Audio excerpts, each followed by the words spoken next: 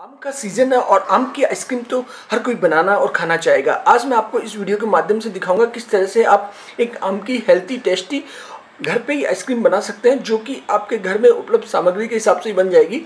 आइए मैं आपको दिखाता हूँ आम की आइसक्रीम आम के सीज़न में भला आइसक्रीम किसे अच्छी नहीं लगती, हम आज बताने जा रहे हैं आम की आइसक्रीम इसके लिए मैंने आम लिए हैं लगभग 500 ग्राम आम है ये। आम साइज़ के हिसाब से छोटे या बड़े आप ले सकते हैं। इसको हम छील लेंगे और इसका पर्ल अलग कर लेंगे। इसका गुदा हम निकाल लेंगे।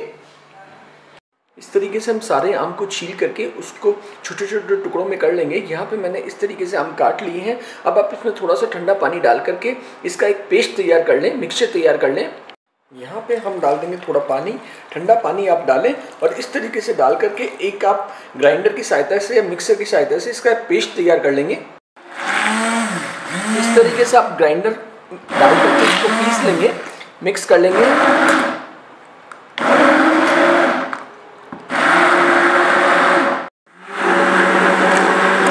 इस तरीके से बिल्कुल महीन आपको पेस्ट तैयार कर लेना है, महीन पेस्ट हम बना लेंगे। पे हम ले लेंगे वेपिंग क्रीम आइसक्रीम बनाने के लिए मेरे को वेपिंग क्रीम की आवश्यकता पड़ेगी, जिसको हम हमारी क्वांटिटी के आम के हिसाब से ले लेंगे और इसको फीटेंगे यहाँ पे मैं जितनी आपको क्रीम चाहिए, उतनी आप क्रीम ले लें और इस तरीके से डाल लें, डाल करके आप इसको फेंट लें। यहाँ पे मेरे को इतनी क्रीम सफिशेंट रहेगी। लगभग तीन हाम है तो उसके लिए मैंने ये 100 ग्राम वेपिंग क्रीम ली है। अब हम इसको ग्राइंडर से फेंट लेंगे और इसको जस्ट दुगने से तीगना साइज़ कर लेंगे। यदि आपके पास में बीटर हो तो बीटर से भी आप इसको मिक्स कर सकते हैं।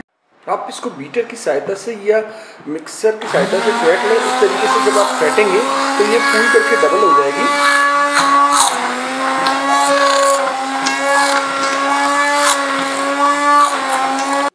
पे रैपिंग क्रीम तैयार हो गई, जिसको हमने फैट लिया है। इसके अतिरिक्त ये हमारा आम का पल था, वो भी हो गया तैयार। जितना ड्रेपिंग क्रीम ली है, उतना ही आम का पल लिया है। दोनों की क्वांटिटी हमने बराबर बराबर मात्रा में रखी है।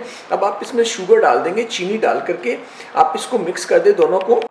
चूँकि मीठा होता है, इसलिए मैंने चीनी ज़्यादा नहीं डाली है। आधी कटोरी में चीनी डाल रहा हूँ। इसके अतिरिक्त हम ये जो आम का पड़ था, वो सारा का सारा मैं इसमें डाल दूँगा। इस तरीके से आप डाल करके और इनों को मिक्स कर दें। चीनी मिक्स हो जाए, आम का पड़ मिक्स हो जाए, ये आप मिक्स कर देंगे। यहाँ पे हम डाल देंगे इलायची। इलायची मैंने सात से आठ ली है, जिन्हों को हमने बारीक बारीक इस तरीके से इसके पाउडर बना लिया है। साथ ही मैं डाल दूँगा कुछ फ्रूट एसेंस की बूंदे। इससे ज़्यादा अच्छा टेस्ट आएगा। सात से आठ ड्रॉप मैंने इसमें डाली है। डाल करके आप इसको मिक्स कर दें। यहाँ पे किसी बीटर की साइड सहायता से वापस से इसको मिक्स कर देंगे। इस तरीके से मिक्स कर दें ताकि इसमें चीनी और ये क्रीम और आपका इलायची पाउडर वगैरह मिक्स हो सके।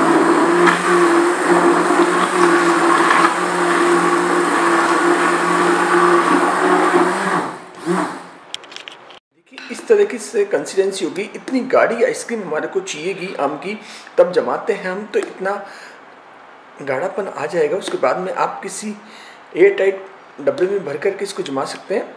हम किसी टिफ़िन बॉक्स में इसको डाल देंगे। टिफ़िन बॉक्स को डाल करके आप इस तरीके से कर लें ताकि इसमें किसी तरह के कोई बुलबुले ना रहें। इस तरीके से आप इसको डाल देंगे टिफ़िन बॉक्स में डाल करके और इसको जमाएँगे। यहाँ पे आप लगा दें, इसके ऊपर एक फॉइल पेपर फॉइल पेपर ना लगा सके तो एक प्लास्टिक की पन्नी आप लगा सकते हैं ताकि वातावरण की किसी तरह की इसमें डस्ट ना जाए। इस तरीके से आप इसको पैक कर देंगे लगा करके। आप इसका ढक्कन बंद कर दें टिफ़िन का। इस तरीके से जैसे आप नॉर्मल टिफ़िन का ढक्कन बंद करते हैं, उसके बाद में आप इसको वहाँ रखें जहाँ आप बर्फ़ जमाते हो। सात से आठ घंटे के लिए आपको इसको रखना है फ्रीज़र में। सात से आठ घंटे बाद हम इसकी कंसिस्टेंसी देखेंगे। हम इसका टिफ़िन का ढक्कन खोल लेंगे और इसको आप जो ऊपर फॉइल पेपर है, उसको भी आप हटा लें। इस तरीके से देखें।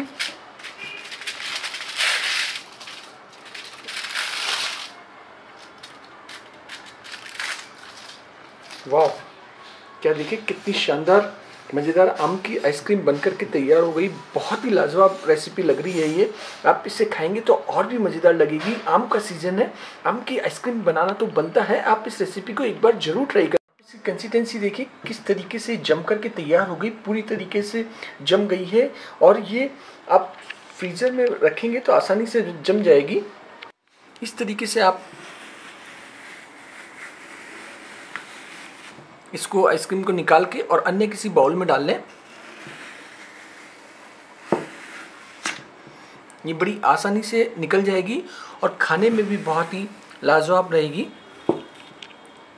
बनकर के तैयार हो गई आम की आइसक्रीम, जो कि खाने में बहुत ही मज़ेदार होगी। आप इस रेसिपी को एक बार ज़रूर ट्राई करें। अपने कमेंट्स के साथ मुझे बताएँ किस तरीके से आपको ये रेसिपी लगी। मिलते हैं एक नई रेसिपी के साथ में। थैंक्स